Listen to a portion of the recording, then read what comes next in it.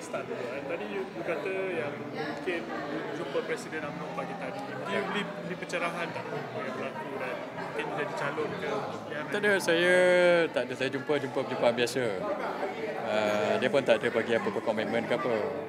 Tapi saya rasa-rasa mungkin uh, mungkin parti tak tahulah mungkin saya boleh diberi peluang lah kot.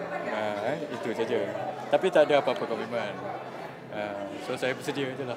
Uh, saya ingat the fact that dia panggil saya tu adalah satu honor lah kot. Eh? Uh, dan uh, saya tak tahulah itu signal ke indication ke, I don't know. so, but dia tak adalah cakap terang-terang awak jadi calon tak ada. Uh, but itulah eh. But I, I have to be prepared lah. Uh, for for in case uh, nama saya dicalonkan. But so far I'm looking forward to it. So kalau dia berpeluang memang saya nak contest lah. Yeah. So, Kawasan mana tu? Tak ada. Tak ada indication. No, no, no indication. Some of your grassroots, ya. Yeah. Asyik insyaAllah. Oh itu dia orang daripada Shah Alam lah tu. so uh, Sungai Buloh is my my my constituency tempat saya UMNO bahagian Sungai Buloh. Jadi so far saya rasa UMNO bahagian Sungai Buloh calonkan uh, uh, ketua bahagian atau timbalan saya tak pastilah eh. Uh, so uh, tempat-tempat lain tu pun saya tak pastilah banyak orang uh, sebut banyak kawasan tapi semua itu adalah uh, keputusan presiden dengan timbalan presiden dan saya ingat top 5 lah keputusan. Uh, setakat ni saya tak rasa ada anybody dapat confirmation yang dia bertanding. Even incumbent. So tak ada. So sekarang ni saya ingat pihak uh, kepimpinan kita masih mengkaji. Ya. Uh, sebab kita nak maximize number of seat yang kita boleh menang. So the combination between party branding and calon tu very important. So ada orang sokong parti tapi ada orang sokong calon juga. So we need a good combination between party branding and calon punya uh, punya potential juga. So that is why I think they will not make uh, keputusan uh, tergesa-gesa lah. Eh. So kita ada masa lagi, saya ingat seminggu dua untuk mereka bagi keputusan. So macam saya, saya always party man. Uh, pihak lepas pun saya tak bertanding. Tapi saya tetap berjuang juga. Uh, sebab uh, kalau apa-apa, kalau diberi peluang memang saya nak bertanding lah. Uh, tapi kalau tak diberi peluang pun, saya kerja untuk parti juga. Eh? Uh, so dalam parti ni, uh, perjuangan tu macam itulah. Uh, so kita kita ikut keputusan pucuk pimpinan. Ada pemimpin yang memang dah start bekerja di uh, kawasan yang mungkin diorang rasa diorang nak Ya. bertanding dari awal. Yeah. Um, did you do that sebelum-sebelum Tak, ni? sebab saya tak tahu kat mana saya nak bertanding. so macam saya, saya sekarang ni saya banyak buat kempen social media dulu. Uh, lepas pembubaran. Sebelum pembubaran memang saya dijemput ke banyak kawasan. Bulan lepas saya dijemput ke 30 40 parlimen saya ingat. Saya dah pergi satu Malaysia eh. Dari Kelantan Sabah pun saya pergi. Uh, di Kedah saya pergi, Perlis saya pergi, di Perak saya pergi. So memang mereka jemput saya pergi. Sebab saya ahli majlis tertinggi, so mereka jemput. Setiap kali orang jemput memang saya tak pilih-pilih, saya pergilah. So kempen saya memang dah berjalan dah inilah. And uh, untuk turun kawasan untuk work that area tu saya saya tak inilah. Saya kempen di uh, di di semua kawasan lah basically you know uh, so to say uh, and basically also sekarang ni satu konstituensi terutama di Selangor, di Lembah Kelang, eh, di kawasan-kawasan bandar ada 100-200 ribu pengundi. So the battleground is now has shift shifted daripada dulu kita boleh pergi physical eh, but now to social media. So you have to reach out to the to the voters through social media. So imagine uh, kalau kita nak pergi physically jumpa 100 ribu orang tak boleh. Eh. So to reach out to them we need uh, social media punya engagement. So kalau uh, kalau saya bertanding satu kawasan pun saya ingat kawasan bandar ke dah ada 100 200 ribu pengundi. So saya buat juga kempen fizikal but at the same time we we got to use social media platform to reach out to more voters. Saya ada soalan generik lah. Okay. Pasal kawasan bandar ni ada ramai pengundi mungkin Melayu urban. Ramai di antara mereka biaru lepas uh, undi PH Okay. kawasan bandar. Jadi mungkin apakah cabaran yang mungkin Encik Syah hadapi ataupun UMNO secara kelulusan lah. Saya ingat PRU lepas bukan saja pengundi di kawasan bandar di PH. separuh bandar luar bandar pun di base. Sebab itu kita uh, UMNO hilang 30 kursi PRU 14. Sebelum tu UMNO dapat 88 kursi uh, PRU 13, PRU 14 kita hilang daripada 88 jadi 54 kursi. So 34 kursi macam tu dan kebanyakan dari kursi-kursi ni kawasan Felda. Kawasan Felda ni luar bandar. So not only kita kalah kawasan bandar memang kubu kuat PH, di kawasan luar bandar pun kita kalah. Mungkin pasal tsunami dan sebagainya. Tapi lepas PRU 14, saya ingat uh, ada shift in voters punya voters punya sentiment. Sebab itu PRK, PRK, PRK, PRN kita menang. Terutama dia orang muda. Uh, sebabnya pasal salah PH juga. Sebab dia tipu manifesto, dia tak tunai. So, based on kajian kita, ramai pengundi di Melaka, di Johor itu PRN, PRK, PRK, dia tak tak suka penipu manifesto. So that's the thing. I mean like, uh, yalah dia macam dia nak hukum lah. Kan? Uh, dulu masa PR14 Barisan Nasional kita telah dihukum oleh rakyat. Eh? Tapi kita belajar dari kesilapan itu. Sekarang ni yang tidak dihukum lagi oleh rakyat lagi PH sebab dia menipu manifesto. Banyak manifesto tak tunai. Tol PTPTN semua lah banyak. Dan uh, lepas itu uh, Perikatan Nasional pula dia pelompat parti pun rakyat tak suka. Uh, sebab dia lah jadi macam-macam eh. Lompat parti ekonomi tak stabil, politik tak stabil. So saya ingat sebab itu kali ini mereka berhadapan dengan masalah. Uh, cuma kita Barisan Nasional, kita tak boleh harapkan uh, faktor itu aja untuk menang. So memanglah sekarang rakyat tak suka PH dengan Perikatan Nasional. But we have to offer a better alternative. Uh, apa yang kita tawarkan. So that's my focus. My focus is not to attack fitnah. Sebab tu saya bawa kempen politik positif. So kita bagi tahu rakyat apa yang kita nak buat untuk rakyat. Macam mana kita nak selesaikan masalah. So PH dengan Perikatan Nasional biarlah dia bawa skandal ke negatif macam biasalah. Uh, dia punya kempen negatif. Kalau dia tuduh kita, kita jawab. Macam benda ini telah berjaya eksperimen kita pertama di Melaka. Melaka kita tak bawa kempen negatif. Uh, kita bawa kempen positif. Apa kita nak bawa kepada rakyat. And kita telah menang 3 per 4 daripada kursi. 21 daripada 8 don. So kali ini pun saya ingat uh, fokus saya macam itulah. Because sekarang the, the, the problem is bread and butter. Orang tak ada kerja. Orang tak ada kerja, tak ada duit nak makan macam mana. So but the other side is focusing on scandal, scandal, scandal. Rasuah lah dan sebagainya. Tapi kalau nak tengok rasuah, PH pun ada rasuah. Lim Guan Eng pun ada kes rasuah. Yeah? Uh, dan banyak tu dan banyak kes-kes pemimpin mereka yang bila uh, disiasat dia, eh, digugurkan pula semasa mereka berkuasa. So sebab tu saya kata dulu rasuah ini bukan bergantung pada parti, bergantung pada individu. Ha, so sebab itu bila orang tu dapat kuasa, ha, maka benda ini berlaku. Eh. So uh, cuma apa yang beza pada pada kita ialah kita uh, menunaikan janji, mereka tak tunai janji. itu je. Ha, dan uh, apa yang mereka nak nak tuduh kita macam-macam tu kita lawan lah. Dan kita fokus pada ini. Sebab tu kita nak buat penjaga awal. Uh, even uh, PM Singapore pun dah cakap kan ekonomi tahun depan teruk eh. Ah, Jokowi pun cakap ekonomi tahun depan teruk. Bank dunia pun cakap ekonomi tahun depan teruk. Eh takkan kita nak tunggu ekonomi teruk dulu baru kita nak buat pilihan raya? Tak sempat. So we must because we are facing two crisis now.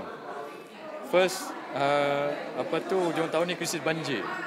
Tahun depan krisis ekonomi. Eh you can't you, and then kalau kita masih tidak stabil politik, orang masih bergelut dengan politik, tak tahu bila nak pilihan raya, fokus kita on pilihan raya, we cannot we cannot we are not ready to apa to face the crisis.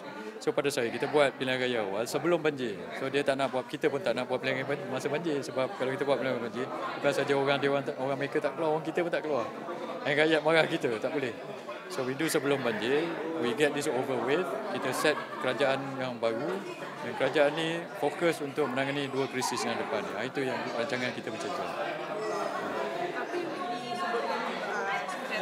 tentang politik positif nampak gaya macam kontra tak dengan apa yang uh, PM sebut baru-baru ni uh, tentang dia me, uh, declassify uh, investigations uh, yang pasal buku Tommy Thomas Tommy Thomas ya. Yeah. Dan yeah.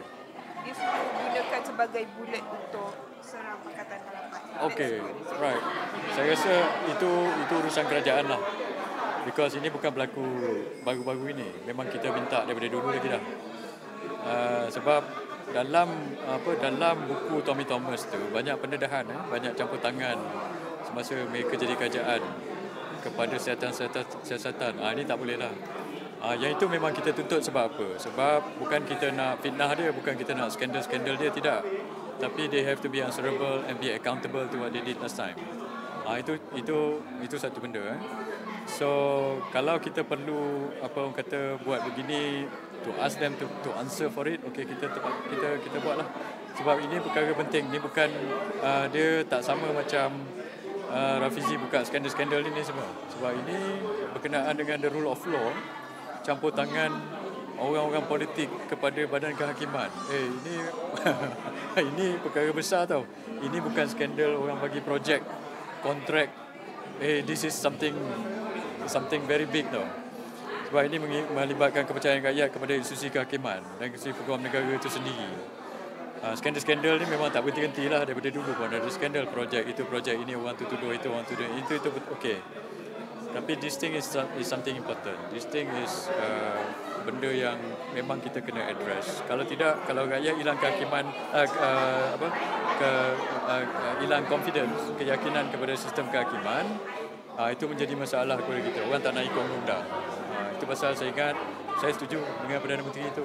Kita betul mengambil yang paling positif tapi BH have to be accountable for what they did uh, masa 22 bulan dia berkuasa. So, uh, uh, jika terpilih sebagai calon, yeah. apa yang Tuan Syah akan buat? Uh, tadi saya dah cakap tiga tiga perkara tu. Masa tu saya akan kempen habis-habisan lah. Tapi saya punya, bukanlah manifesto eh, tapi personal thing dah saya nak buat lah. Eh. Dulu masa awal kita kalah, uh, saya nak bawa anti lompat parti. Sekarang ni hantar roboti dah dibuat. Dulu saya yang awal bawa, saya ingat eh, antara yang paling awal bawa uh, perjuangan untuk anti lompat parti sebab masa tu ramai orang UMNO lompat parti.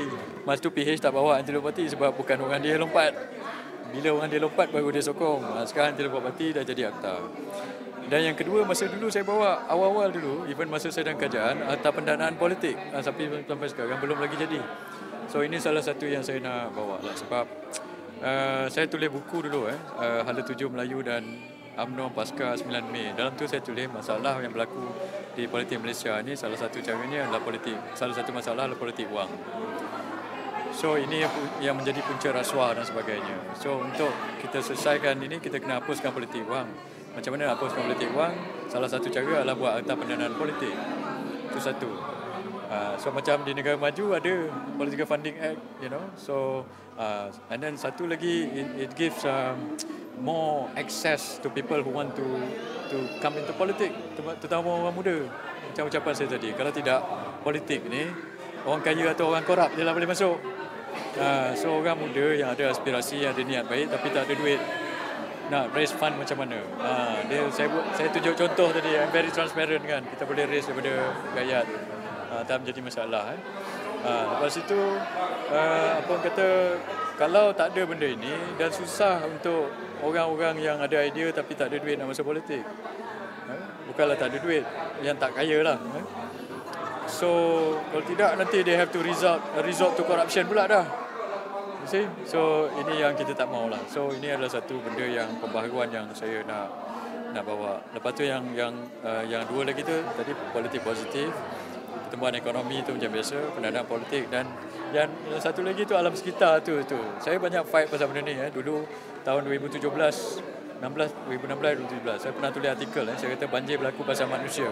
Dalam artikel tu is actually was actually among the first suggestion yang banjir besar berlaku dekat Kelantan ini disebabkan oleh pembalakan.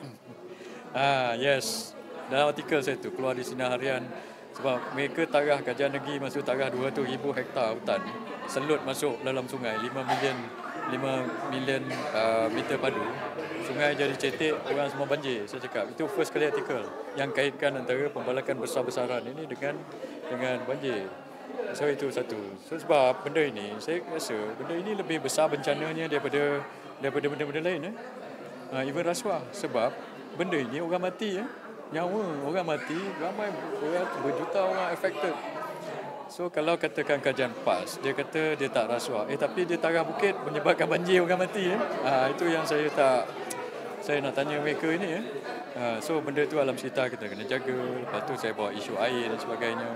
Ha, saya bawa isu air sampai saya kena saman eh, oleh uh, syarikat bekalan dari Selangor. Saya pergi ke mahkamah tinggi saya menang So itulah perjuangan saya dan selama 4 lebih 4 tahun lebih saya berjuang ni macam saya cakap tadi semua saya pakai duit sendiri. so uh, sebab tu saya hari ni saya raise dana uh, untuk pakai duit sendiri lah. Sebab kalau saya masuk akaun parti pula, nanti kan saya kena pakai duit sedikit lagi. Parti, you understand? And uh, parti tak nak, saya dah refer pada parti, parti tak nak buat crowdfunding. Sebab nanti expose the account to any anything, nanti account dia kena beku pula. Ah, dia jadi masalah. So, sebab tu saya buat inilah. And uh, sebenarnya pakai akaun peribadi ni lebih sensitif sebab semua orang monitor tu. Bank negara monitor, SPRM monitor, polis monitor. so, you tak boleh buat tentu tu orang. Eh? Uh, tapi saya transparent lah saya pakai semua and then bila buat akaun peribadi company-company besar pun tak tak boleh sumbang duit sebab bila dia nak sumbang duit satu kalau sumbang dengan jumlah yang besar dia akan flag kedua uh, dia nak sumbang dia tak boleh bagi pada peribadi dia kena bagi pada NGO ataupun uh, ni syarikat uh, so sebab itu dana saya ni yang sumbang RM5 RM10 RM20 daripada orang betul tau real people tau. Uh, so real people. Saya ingat 80-90% orang yang bagi, saya tengok tu ialah bagi RM50, RM10 sebab dia percaya pada perjuangan saya. Uh, sebab itu saya kata uh, inilah satu cara. So kita dah melebihi target tadi RM76,000 saya dapat, saya target RM50,000 je. Sebab saya tahu SPR punya limit RM200,000 spending, so saya dah kira dengan saya punya jawatan kursi kewangan, saya nak pakai RM100,000. Dapat RM50,000, RM50,000 lagi saya top up. Pakai duit saya sendiri. So today we got 76,000, Alhamdulillah. So So itulah saya punya ni eh. Yes. Okay. Okay. Terima kasih. Thank you so much. Thank you so much.